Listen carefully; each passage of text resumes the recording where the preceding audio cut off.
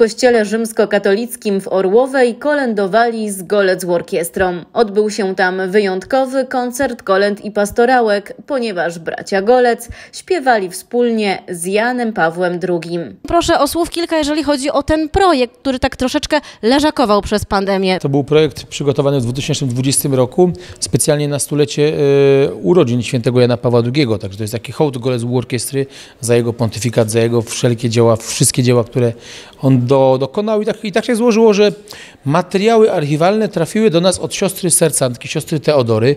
Ona już ma prawie 100 lat i jeszcze żyje. Ona pracowała podczas pontyfikatu właśnie tam na Watykanie.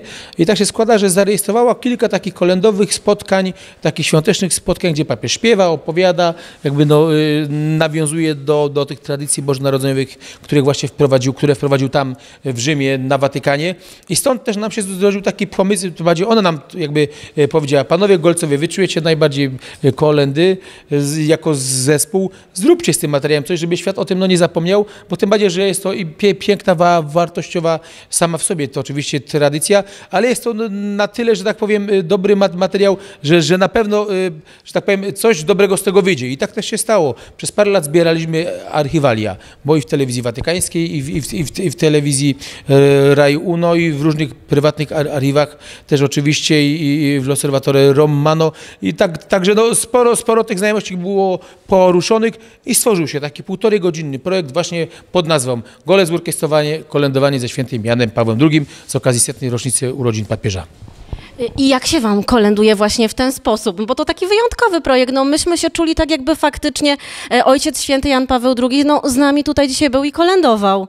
No tak, no generalnie każdy, który właśnie yy, wybiera się na ten koncert, to jest zaciekawiony, jak to w ogóle będzie wyglądać. Tutaj yy, bardzo ważną kwestią są multimedia, ponieważ papież z nami właśnie wspólnie śpiewa te kolendy. My śpiewamy pierwszą zwrotkę, papież drugą, prawda, później objaśnia yy, różne sentencje a propos samej wieczerzy wigilijnej, samego w ogóle narodzenia Jezuska, także niesamowita sytuacja i co jest bardzo istotne, podczas właśnie tych materiałów, które zbieraliśmy, odkryliśmy wiele ciekawych rzeczy, między innymi właśnie chociażby stawiane, stawianie szopki na placu y, właśnie watykańskim świętego Piotra, y, czy chociażby zapalenie właśnie tych świec symbolicznych, właśnie to podczas stanu wojennego było bardzo takie wymowne i prawda w oknie papieskim papież stawał, zapalał świecę i on przez to można powiedzieć łączył się z nami, prawda, Polakami w taki właśnie sposób. Ale też były oczywiście materiały, gdzie papież śpiewał przez telefon, bo w Krakowie, jak jeszcze był tutaj, prawda, e, kardynałem, no to e, grono tych fanów, tych przyjaciół papieża zbierało się tam na słynnych kolędowaniach. E, no i oczywiście, kiedy papież już został wybrany na stolicę Piotrową, no to ten zwyczaj, żeby podtrzymać, jak śpiewano, po prostu przez telefon. Oni w Krakowie, on, on tam w Watykanie, no i te takie materiały do nas właśnie dotarły. No i oczywiście nie mogło zabraknąć ulubionej pastorałki świętego Jana Pawła II, czyli oj maluśki, maluśki, gdzie papież na bieżąco wymyśla różne zwrotki, tych zwrotek mamy ponad 30, także no faktycznie trudno było e, wybrać te e, najlepsze, no ale wydaje mi się, że udało się stworzyć naprawdę piękne widowisko. Koncert sam był zarejestrowany e, w naszej rodzinnej milówce przez telewizję Polsat. Na naszej stronie Golec Orkiestry www.golecworkiestra.pl Cały koncert jest w streamingu do obejrzenia, czyli prawie dwugodzinny taki no, przepiękny koncert z, na, z naszej rodzinnej parafii z Milówki. Także cóż, no jeździmy z tym projektem po Polsce, jest bardzo duże zainteresowanie, nie tylko w Polsce, ale i za granicą. Także do końca stycznia mamy chyba ponad 20 koncertów, nawet po dwa koncerty dziennie gramy, także ludzie no naprawdę y, kochają papieża, jest to jeden z największych polskich świętych.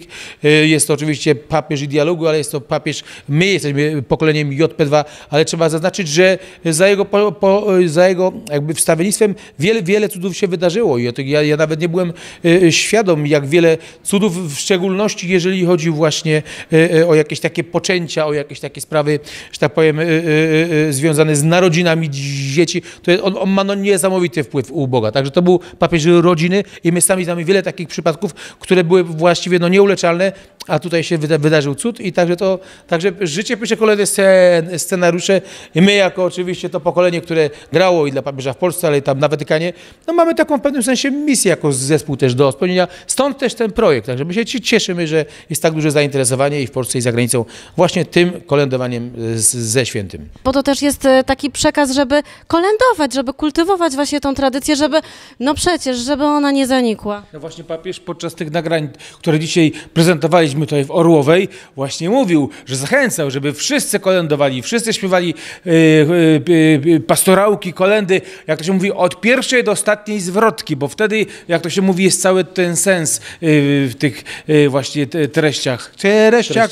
I on też się modlił tymi kolendami. To trzeba też po, po, pod, podkreślić. Do 2 lutego codziennie musiał zaśpiewać kilka kolęd w gronie tych najbliższych przyjaciół. To jest forma modlitwy, no bo wiadomo, te kolendy są żywcem wy, że tak powiem, wy, wyrwane z Pisma Świętego. Także to jest też jakby wie, wielka wartość. Pastorałki oczywiście są ludyczne, jest ich ponad 500 w polskim dorobku, tak. także jest co śpiewać. Na każdy dzień, gdyby po dwie nawet wybrać, to do, do końca e, roku. nie, to do końca stycznia, no nie powtórzyłaby się najprawdopodobniej no, żadna. 500 to masz 250, rozumiem. No to ja nie? wiem, ale ja mówię, no śpiewamy no po trzy dziennie, tak. to do końca kole kolędowania żadną no nie powtórzysz. No, oczywiście, że tak. I no to... tego Państwu z całego serca tak, życzymy. Tak, tak. Wspólnego kolędowania kolędowania w gronie najbliższych, najbliższym. No i, no i cóż, my oczywiście na, na terenie tutaj powiatu cieszyńskiego również się pojawimy z kolędowaniem, bo już 30 grudnia wystąpimy e, w Istebnej, w kościółku parafialnym. Jeżeli ktoś ma ochotę, to proszę tam się wpisywać, jakieś są tak zwane wejścióweczki, żeby, e, żeby, żeby ten koncert mógł się odbyć, ale to nie jest biletowany koncert, to jest po prostu zaproszenie. Trzeba to jest zaproszenia tam gdzieś do gminy się zgłosić, ładnie uśmiechnąć, prawda, u sekretarki i może takie zaproszenie się dostaniemy oczywiście.